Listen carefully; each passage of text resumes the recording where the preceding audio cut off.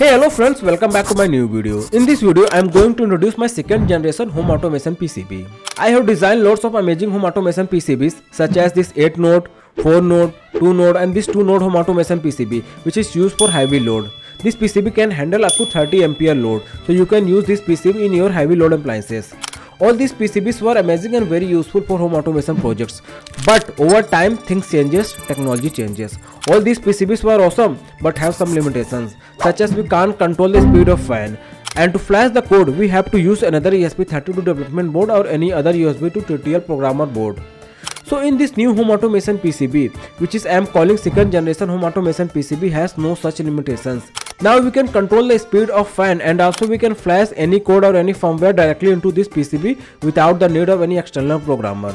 Apart from this, there is a lot of other things added in this home automation PCB. Before we move on, let me tell you about a fantastic tool that has made my PCB design process so much more efficient, Altium 365. Altium 365 is the first open electronic hardware development platform that fosters a secure and collaborative design environment. Whether you are working alone or with a team, Altium 365 ensures everyone is on the same page. Key benefits of Altium 365 is data management. Store all your design data securely in one place with robust version control, ensuring everyone works with the latest file. Library management. Access millions of ready to use parts with up to date supply chain data, making informed design decision easier. Supply chain management. Integrated BOM management with real time data on parts availability and pricing helps streamline your production cycles. Collaboration Enable seamless collaboration with your team and manufacturers, reducing errors and speeding up the design process. And if you are a student and want to be job ready in electronics design, try Altium Student Lab. You will get free access to Altium Designer and Altium 365.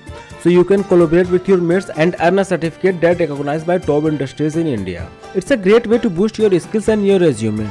Just enter your university email to get started for free and learn real skills that lead to real jobs with Altium Student Lab. And benefits of this Altium Student Lab is you will get free access to Altium Designer student license and PCB design courses, university level curriculum and course certified from Altium Education, free access to Power Analyzer by Keysight. This is an amazing opportunity to gain industry recognized skills. Uh, thanks to Altium for sponsoring this video. For more details, check out the link in the description. First of all, the size of PCB is very small. It comes in 87mm by 100mm. To reduce the size of PCB, we have used JST connector for manual inputs and sensor pins instead of screw terminals. In this PCB, you will get inbuilt programming circuit, so no need of any external USB programmer or development board to flash the code into it. This PCB comes with Type-C port, which makes it so convenient to flash the code. Just connect the PCB with your computer using Type-C cable and you are good to go. You will also get onboard circuit for fan speed control. In this PCB, you will get onboard fuse for overload and short circuit protection. And the terminal connector is also heavy load connectors, which gives you safety from melting due to overheating and sparking. And we have also added optocoupler for extra protection. Apart from these safety features, in this PCB you will also get pin for DHT and IR receiver. So just you need to plug in and you have DHT and IR receiver option in your project. Using DHT sensor, you can monitor the temperature and humidity value of your room and even you can make temperature control system. And using IR receiver, you can control your appliances through your IR remote. This home automation PCB is based on ESP32 chip.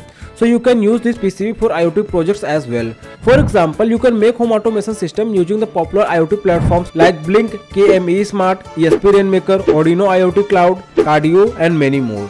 And we all know ESP32 also has inbuilt Bluetooth feature inbuilt. So you can make home automation project using the Bluetooth as well. Now let's dive into the schematic of this PCB. This is the schematic of our PCB. Let me explain the key components of this schematic. This is the ESP32 chip which is central microcontroller unit and responsible for processing and controlling the connected peripherals.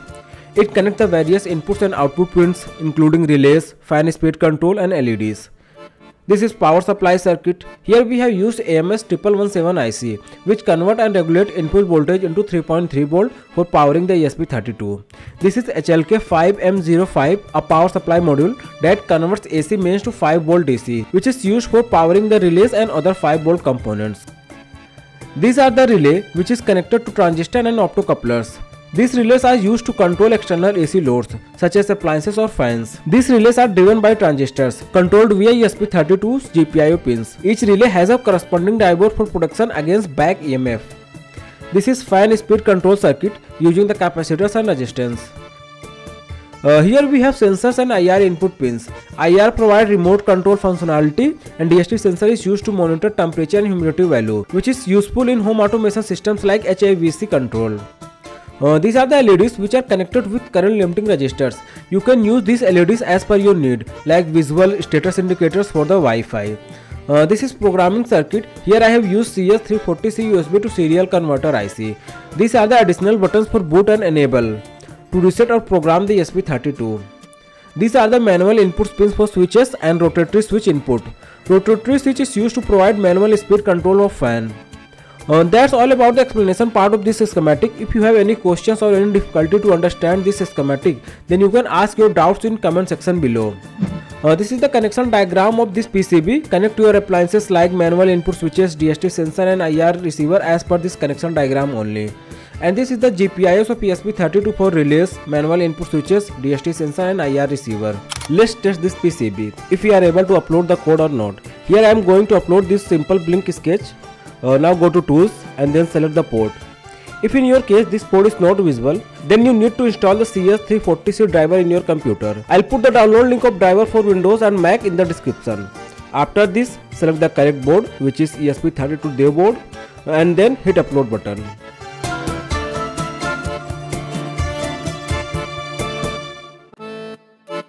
Here as you can see the code is successfully uploaded. In my upcoming videos I will make some cool home automation projects using this PCB so stay tune with Technolo Creation and subscribe this channel if you haven't subscribe it and Altium Student Lab link is available in the description go sign up and start your electronics and PCB design journey today thank you so much for watching this video bye bye have a nice day